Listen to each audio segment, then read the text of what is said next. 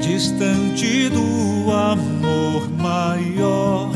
Em meio aos homens, Deus achou uma pérola.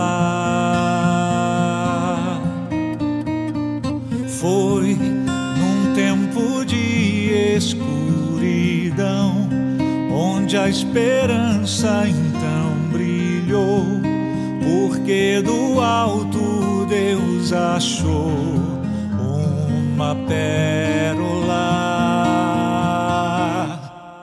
Quem seria capaz de aceitar um plano sobrenatural?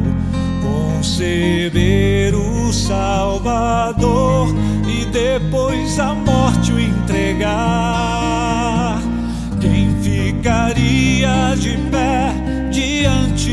Cruz e ainda em Deus confiaria?